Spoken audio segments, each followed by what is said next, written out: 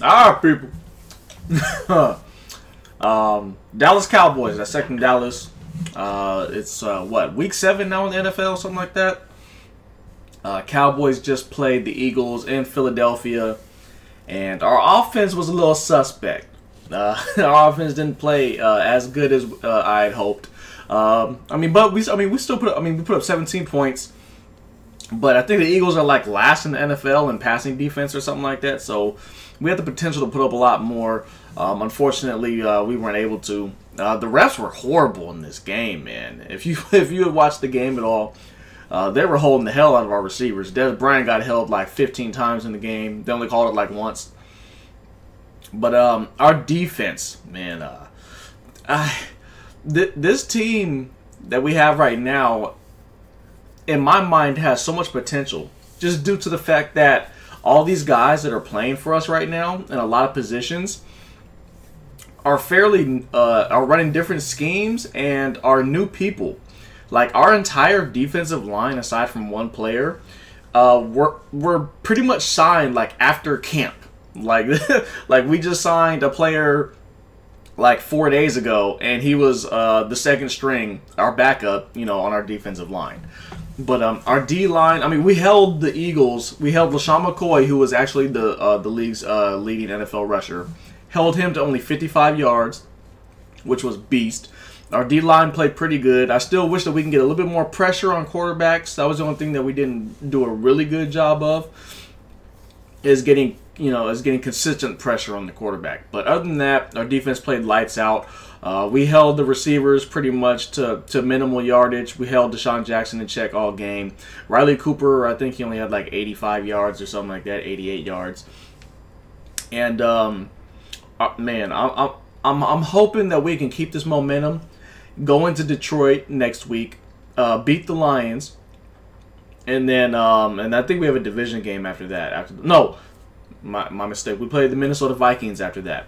So um, if we can get those two wins, man, uh, we'll be we'll be looking very nice atop the NFC. We are three and zero oh in the division, which is very big because the Eagles are two and one in the division. Um, even though their record is uh, you know is suspect, but one thing that I do want to bring up, man, is the potential of Sean Lee being the defensive MVP of the year.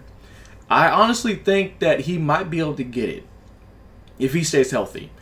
And I'm going to tell you guys why. Sean Lee already on the season, and then with those, this was Game Seven that we just played. He already has, I think, 88 tackles, almost 90 tackles. He's almost at 100 at the halfway point of the season.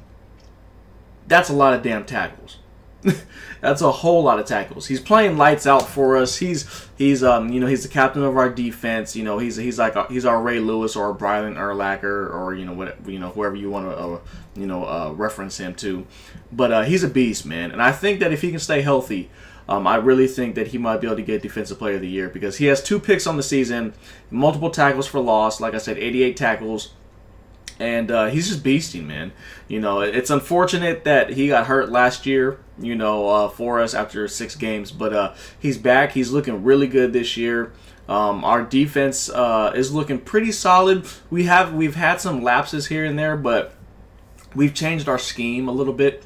Uh, we were primarily a zone team when uh, we first came out, and defenses were eating us up. Peyton Manning, Philip Rivers, all those guys. But now that we're starting to go to a little bit more of a nickel base um, uh, and playing a lot of uh, man defense against a lot of these teams, we've actually been doing a lot better. So hopefully we can keep the momentum. Hopefully we can go into Detroit and get another win, and then also we can go. Um, uh, I think we come back home to play the Vikings. So hopefully we can, you know, get some players back, get some things going on, and uh, keep that momentum, you know, going into our bye week. So hopefully that works out. We'll see how it goes. Um, like I said, some of you guys don't like uh, dissecting Dallas. Some of you guys don't really follow football, but I'm a very big football fan. I love football, so that's the reason why I bring you these type of videos because I know some of my followers do like football.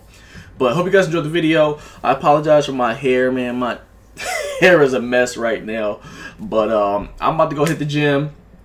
And then I got to go to a little uh, birthday event for my friend's mom here in a little bit. So I got to get dressed for that. So uh, appreciate you guys. Uh, appreciate you guys coming out and um, you know watching the video, dissecting Dallas. And uh, I will catch you guys in a video tomorrow. Um, a regular uh, Call of Duty video tomorrow. Catch you guys next time, man. Peace.